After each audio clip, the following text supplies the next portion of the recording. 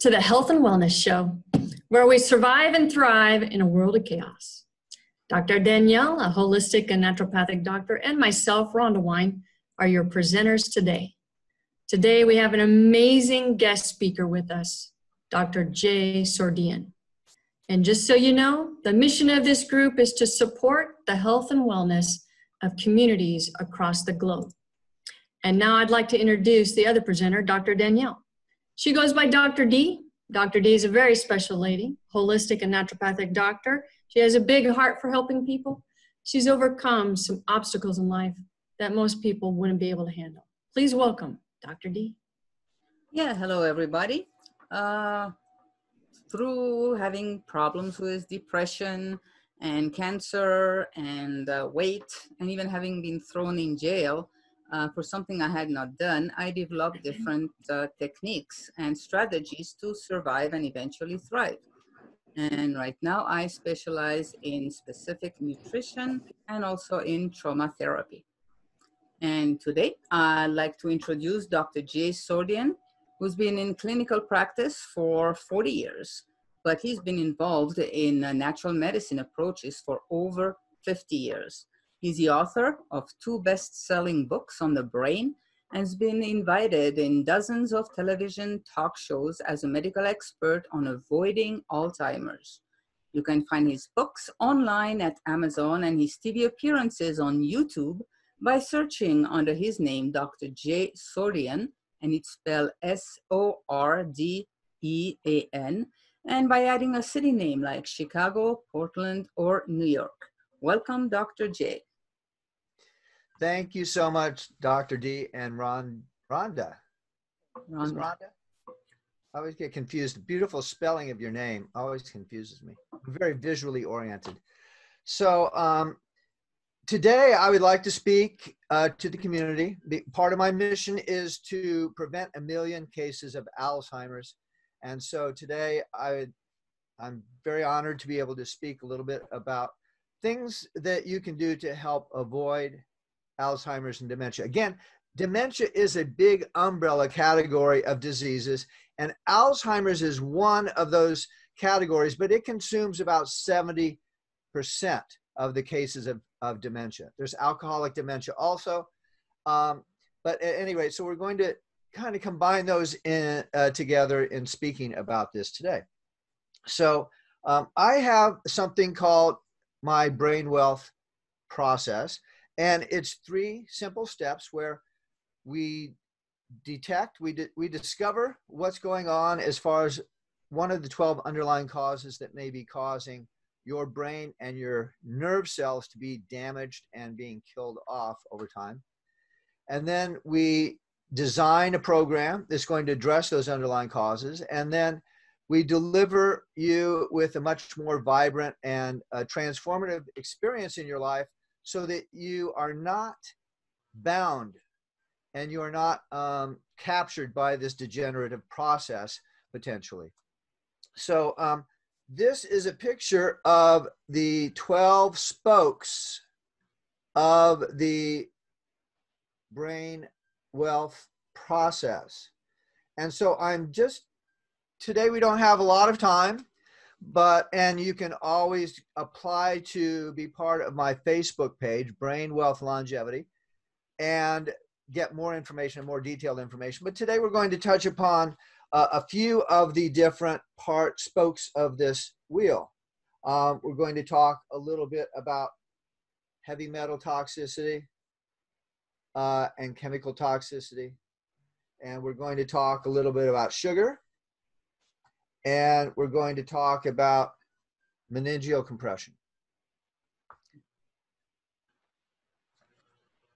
So one of the things I'd like to start out with is just describing a little bit about the results that you can get from this process because I've seen many, many, many patients who have had um, all kinds of problems, brain fog, chronic fatigue, and these are some of the symptoms that ultimately are associated with Alzheimer's and dementia. It doesn't mean that you're developing it, but it, it could be. And so, one of the things that I've helped people do is to get greater clarity of mind when they are stuck in a state of brain fog, where things are just all fuzzy and not working right. Um, I've helped people who have chronic fatigue and um, where their body is just aching and not working well to reverse that as well. And that chronic fatigue and fatigue is one of the signs or symptoms of dementia and Alzheimer's when it has progressed a long distance. Sleep is also an issue. It's very important to get good sleep. And if you don't get sufficient sleep, you can be fatigued throughout the day.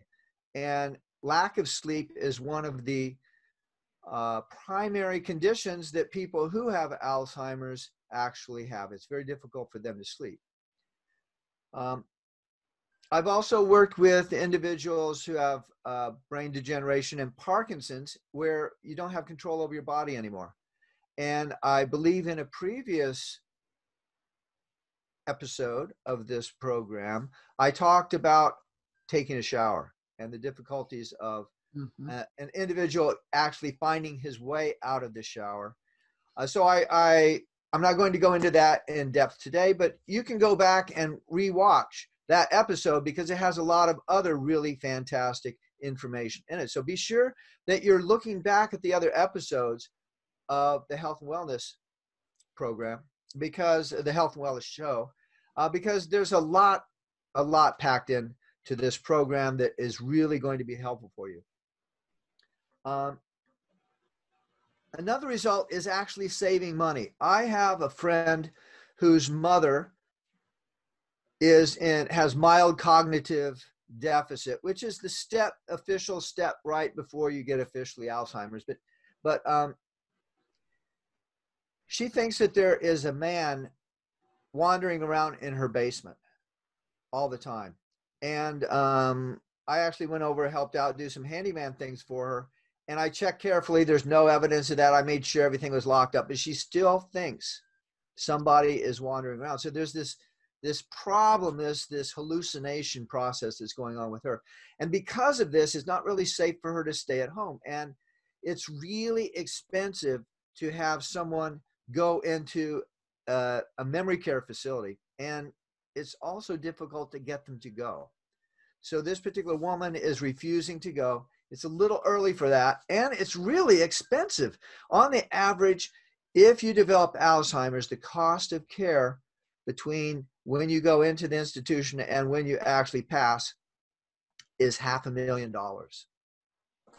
$500,000. Now, some of you in the audience may already have that saved up in retirement, or perhaps you've already got that in your legacy fund that you want to pass on to your children or grandchildren or even great grandchildren. That can be wiped out if you do not take action now to reverse the brain degeneration and killing of nerve and brain cells that is going on right now. It doesn't matter who you are. You, you may not feel it, but in actuality, it is going on right now in all of us because of the toxic environment that we live in. And if you start to develop the symptoms and the dysfunction of Alzheimer's and dementia, then your, your brain ability to think and to remember is really severely influenced. And if you, some people want to retire, some people they say, okay, 65, that's it, 62. Well, I mean, there are some people who've put it together quickly enough and they've actually retired at age 32 or 35. I cannot confess that that is my situation. Um, I sometimes kid people that I would like to be a trust fund baby. Um, I wasn't, and I don't think I ever will be a trust fund baby. But I would love to be able to just do everything that I want. But I really love helping people avoid dementia and Alzheimer's. And so that's why I'm here today. But I can do that because my facilities are still very alert. I still have great memory, and I've done a lot of things to help avoid dementia and the breakdown of the brain over the past 40 years. And so I'm quite confident that I will not develop dementia or Alzheimer's if I continue with these processes. So let's talk very briefly. Now, I mentioned something about symptoms. You know, a lot of people feel that if you don't have symptoms, nothing is going wrong. Well, if you have a car and the oil light comes on, it flashes, does that mean that the oil you can just keep driving for as long as you want. No it means that the oil level has actually been going down down down down down until it gets to a critical level.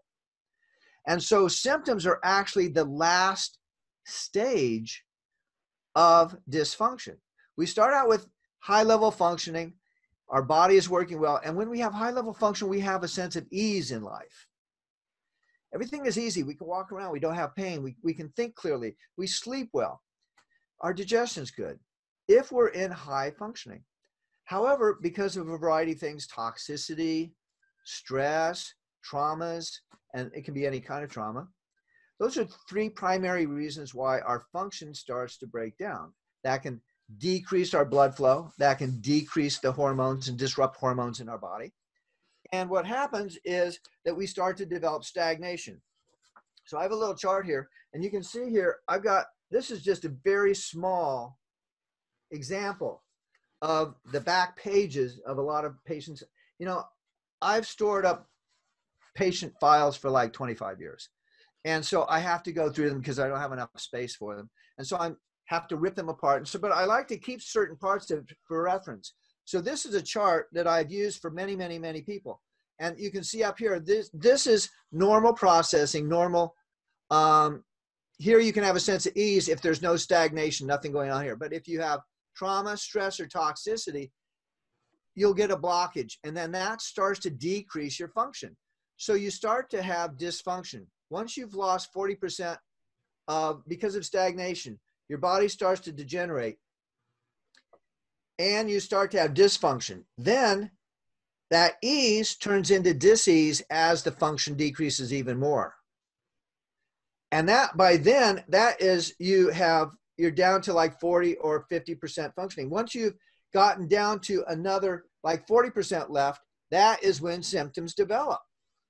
So most people come in with symptoms. So does that mean that they're functioning at a high level? No. It means that they're only functioning at about 40% of their potential. So this is why you want to avoid, you want to deal mm-hmm. with these underlying stagnations so it does not progress down into the disease and then the symptoms, just like your car. Um, you want to make sure you take care of the car. Uh, maybe you don't have, you know, pretty soon, oil in your engine is going to be irrelevant because it's all going to be electric cars, right? But for now, those of us who live in the petroleum era um, have to put oil in our car to make sure it works right. So that's just an example. So I want to just go over that briefly because a lot of people don't understand what functional medicine is, is and why we want to capture things sooner than when we develop symptoms. Because a lot of people say hey my memory's great nothing's wrong why do i need to do anything? Well there are a lot of different ways that we can detect whether or not you are having some functional issue. And so let's talk a brief moment here about toxicity. So here on the chart again toxicity is like here heavy metal toxicity for example, mercury, um, lead, other heavy metals can accumulate in your body and cause massive disruption of hormone systems and your brain. We can also have chemical toxicity. We live in a very chemical heavy environment. Over the past hundred years or so, human ingenuity has created hundreds of thousands of new chemicals that never existed before and a minute fraction. I mean, it's just like maybe the tip of my fingertip compared to my whole body. If my whole body was all the chemicals in the world now, maybe the tip of my fingertip have been tested for safety and mm-hmm. health effects. And of those, many have not been healthy. So we don't really know the impact of all these new chemicals, and our body for sure never, ever got exposed to these in the past because they didn't exist. So these are new foreign elements. And when our body sees these, oftentimes they're toxic or they create an inflammatory reaction. Most of them are fat soluble, like pesticides, herbicides. And those fat soluble items have to be cleared by the liver. And the liver has a long to do list and it can't get around to everything. So what happens, it does it says, well, it's fat soluble. So the body says, let's let's not store it in the brain, even though there's a lot of fat in the brain. Let's not store it in our earlobe or whatever. Let's just put it in fat. This is what five pounds of fat is like. I mean, when I'm on television and you should see it, you can see it a little better. But I hand this to the other person, the, the person I'm speaking to, and they go, Ew, this is so disgusting. Well, actually, this is actually real fat. This is, um, it's a petroleum byproduct. One of my patients told me years ago that um, they used to work in Texas and they used to go inside these big tankers, uh, oil tank, tank cars, and they had to scoop out this yellow gunk out of the bottom because it settles the bottom. And I think that's what this is. So, ooh, it stinks. It's really, it's, it's vile. So I always have to wash my hands and I, I, you know, I put it in like several layers of plastic and I hide it away in a corner so it doesn't disperse into my air. But this is real fat and it smells bad because toxins are stored in it because it's fat soluble. So a lot of people, their weight problems are actually due to toxicity being stored in their fat cells because they are not they don't have all the components necessary to clear it out of the body. And so I know Dr. Uh, D also works with toxicity. And so, what kind of things do you actually do uh, with people? Do you add uh, supplements or do you do some special regimen? I do have some special homeopathics to detox deep. And I check what people are eating, put them on a good diet for themselves. And uh, yeah, and also deal with trauma mostly.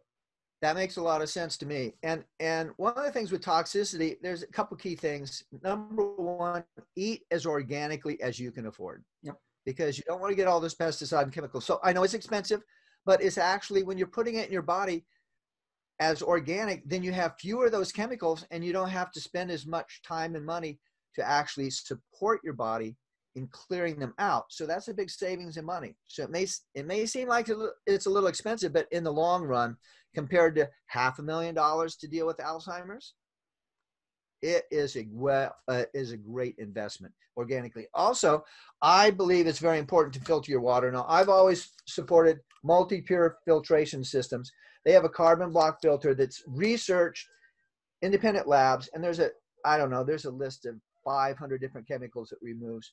Um, so I recommend Multipure, and and I'd be happy to give you more information about that. I've been using those for about 40 years since I first heard about them here in when I moved to California, and I use them in my clinic. Every clinic I've ever been in, we put it in. Uh, I use it in my homes with my daughters, myself, and you know I've got some gray hairs for sure. I've got gray hairs, and I watch for that. But I'm 67 right now, and a lot of people my age actually have a lot of more gray hairs, and I partially attribute the fact that my hair is not graying as quickly uh, due to the fact that I use Multipure water for probably 80% of my um, intake of water. There's obviously, if I go out to restaurants, not, well, I can't do it right now. We're all sheltering in place, but a lot of the restaurants uh, do not use filtered water. Um, there are other places that don't use filtered water. So in the external environment, I am exposed to non-filtered water but um, I'd say 80% of what I do put into my body, and again, 70% of our body is is water. And uh, a program recently said, I don't know if it's true or not, but maybe 80% of our brain is water.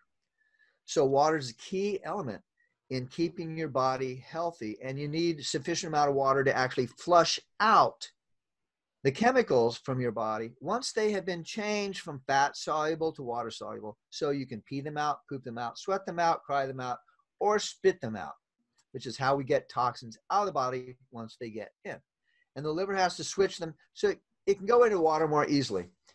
So um, let's talk briefly about sugar imbalances. How are we doing for time? We're doing just fine. Go ahead. It's fascinating. okay. so here's my little chart again, and sugar imbalances are right here.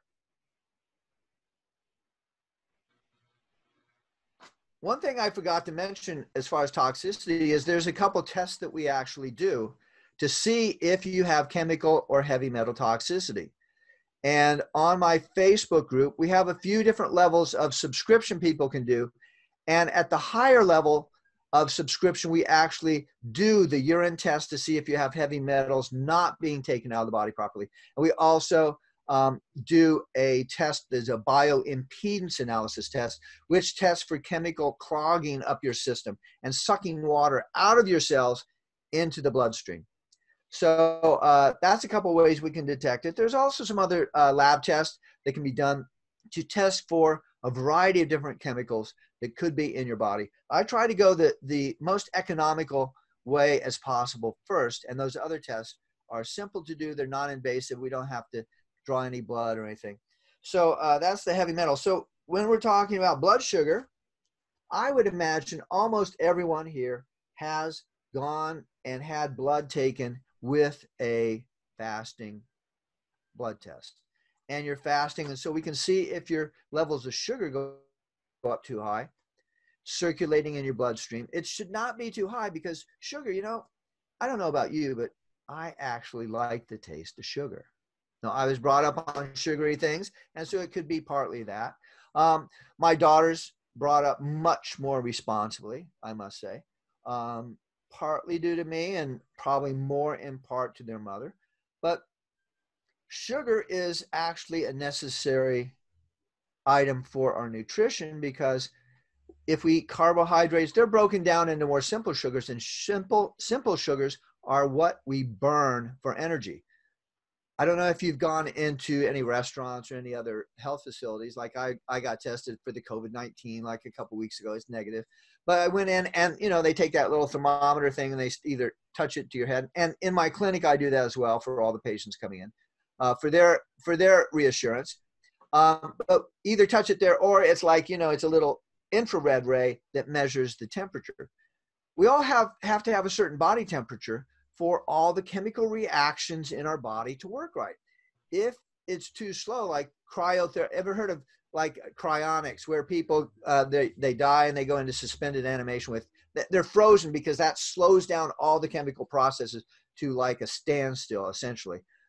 So we have to have a certain temperature for our bodies to work right. Just like if you're baking bread, it has to go to a certain temperature for it to bake if it's too low, it it comes out kind of you know doughy. You can still eat it, but it's not as easily eaten and not as well digested. If you're able to eat bread, or if you aren't gluten intolerant.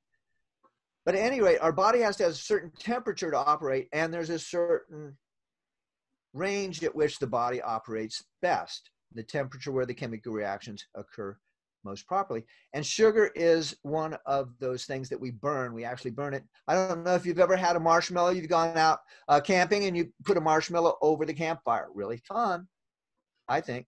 But then, you know, I'm I'm kind of impatient. I would just stick it on in the fire, stick it in the fire, and let it catch on fire, and then it would turn black. You know, maybe I maybe I pull the black part off. Maybe I wouldn't. But you shouldn't eat the black part. That's charred sugar. But essentially, marshmallows are just sugar in a different form. So it burns. It actually burns. But that's really hot on that on that fire. You put your hand over there, ah, you know, you can burn your hand. So all these things have to be a controlled burning of sugar. So we do need sugar, but too much sugar causes all kinds of problems. Alzheimer's, one particular type of Alzheimer's is associated directly with sugar, and it's called type 3 diabetes.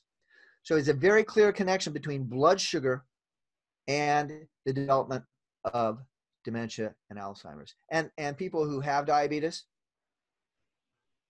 they will often have these periods where they just don't recognize anyone. They don't know who people are coming in. And when their blood sugar's off, it disequilibrates the functioning of the brain. And so those cognitive functions are decreased or, or totally eliminated. So we know that sugar imbalance is a key thing that you need to control. You need to really do a properly balanced diet, um, like Dr. D and myself do, in order to make sure your blood sugar levels are even, and that will help you avoid the foundational causes of Alzheimer's and dementia. And so doing blood tests is one way that we uh, test for that.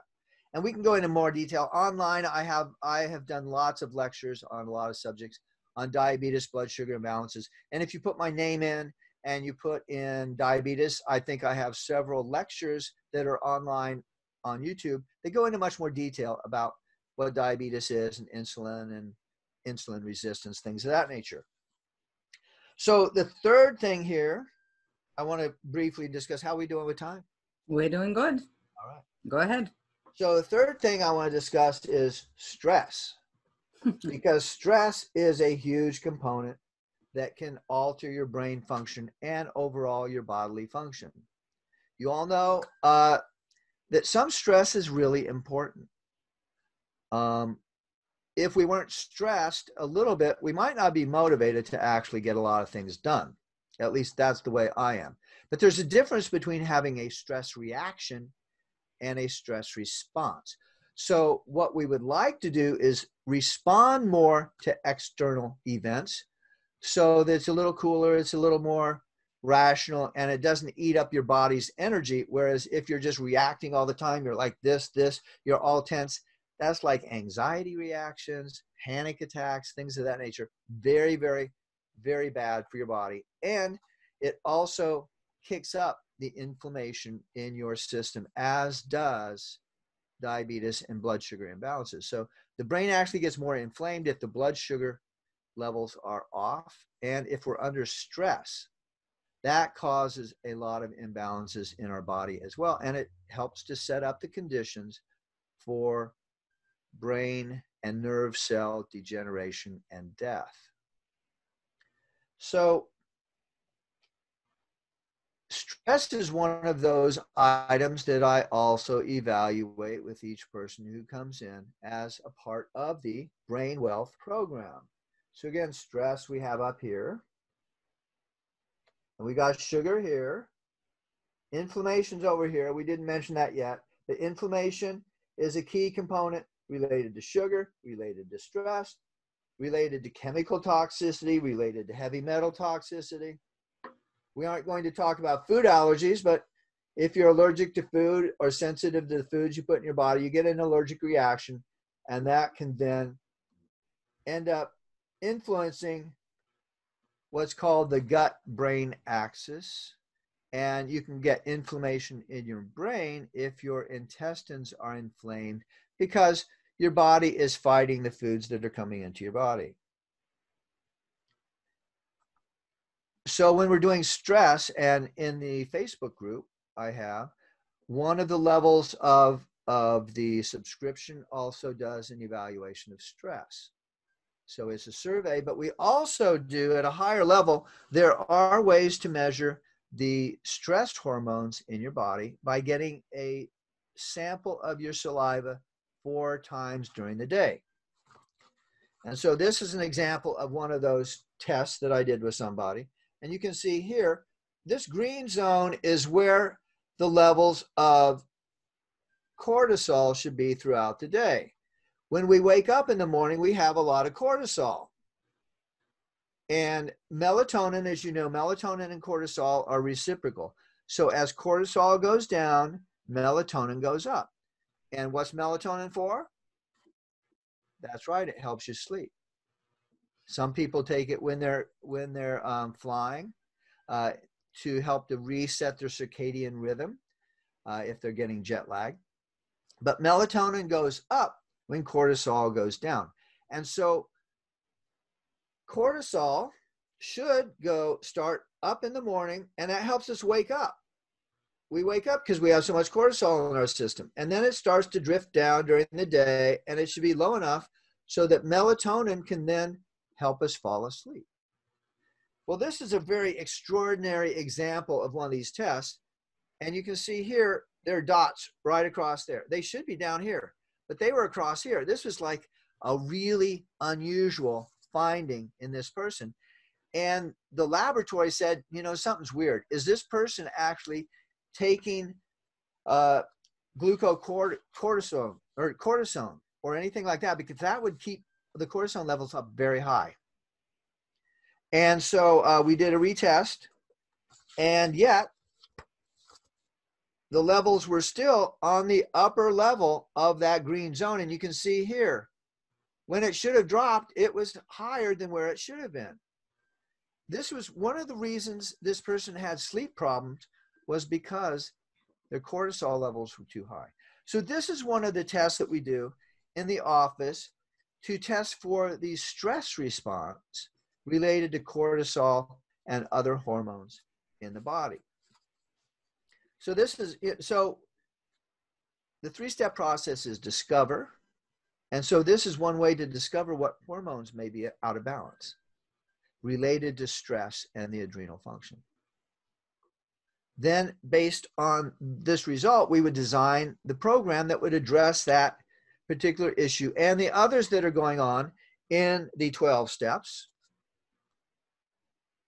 And this isn't like the AA 12 step program. This is just a little bit different. I, I made it 12 steps because we have 12 fingers and 12 toes, right? No, no, I'm just messing with you a little bit. I just want to see if you're still awake. We have five fingers on each hand, five toes. Some of us have a few more, some of us have a few less. But um, it's also one of the reasons why we, we have 10 numbers, why we created 10 numbers for our um, primary mathematical systems is because we can count on our fingers, right? So this base 10 is based on the fact that our, we're physiologically have 10 digits. If we were Martians and only had three, we might actually be base three. And as you know, computers are base two. They're digital, just two. Yes, so it's on off switches. So that's base two. Anyway, a, a slight divergence there. But now the last thing I would like to mention is something called the meninges. Now, not everyone knows what the meninges are. I think most people have heard of meningitis. And that's the inflammation of these little membranes that surround the brain and the spinal cord. So I'm bringing out my little brain example here. This is a brain. It's a plastic brain. I don't know if maybe uh, maybe that's better. It's better. And so what I did, this is not actually a spinal cord.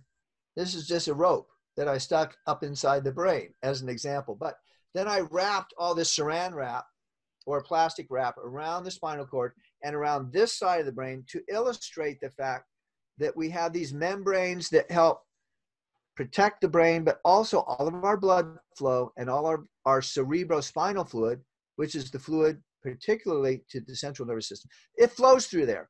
If this gets twisted or torqued, it can be because of, of, of injuries to the head. It can be because we had a whiplash injuries. And there's a lot of different reasons. We could have inflammation somewhere in our body. When the meninges get twisted or torqued, it cuts off the flow of blood, it cut, cuts off the flow of cerebral spinal fluid, and it creates an actual irritation to the nerves where they're firing and they shouldn't be firing because it's just like irritating. It's kind of like, you know, I don't know if, if your parents, I know that Dr. D's parent. And how many how many children do you have? Seven. Seven, that's a lot. So and are they all i know i know some of them throw knives and do all these other kind of very interesting things. Very unique family you've got there. Um, my daughter's not learning to throw knives yet. Um, hatchets yes. Okay. yep they do hatchet too. they do they do ha- hatchets and javelins things like that but no i'm just joking but um, and Rondea do you have children? No okay maybe you have nieces and nephews I definitely have nieces and nephews. Okay. So one of the things, you know, when they're trying to get your attention, they'll grab on clothes. They'll go, uh, uh, hey, hey, hey, hey, hey, hey. They'll grab your pants, your shirt, whatever. They're trying to get your attention. And that's what happens when the meninges are out of out of whack. They just keep going, eh, eh, eh, eh, eh, eh, and they shouldn't be.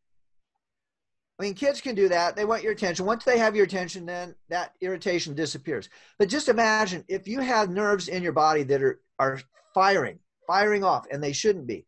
That's going to create a lot of problems, but it also can create a decrease in flow of, of blood circulation to your brain.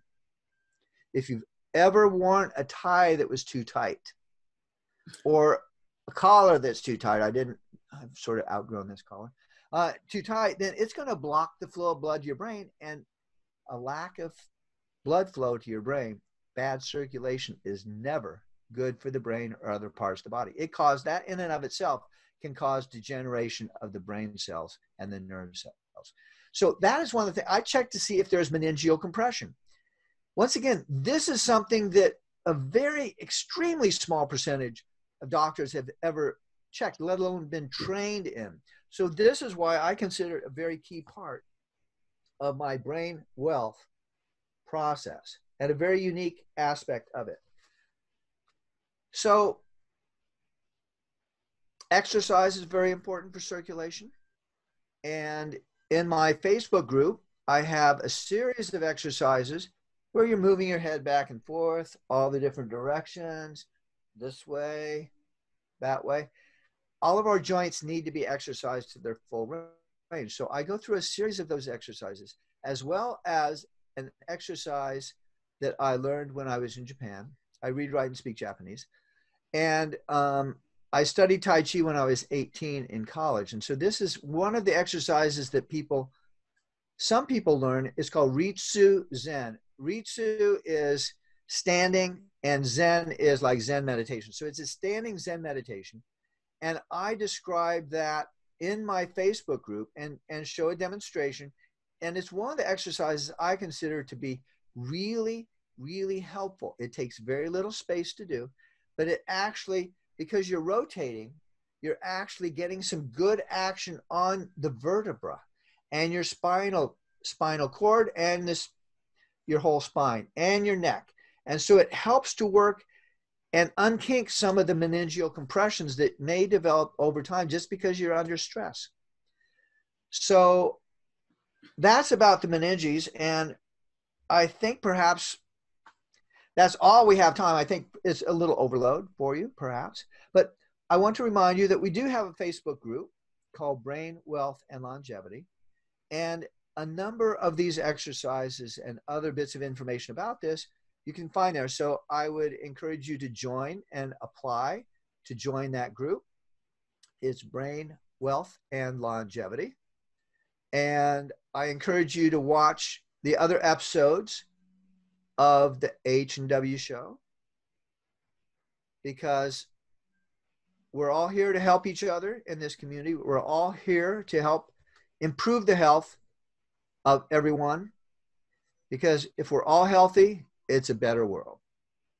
So, uh, any other questions or anything you might have there? Well, I have a, a comment and maybe a question. Excellent.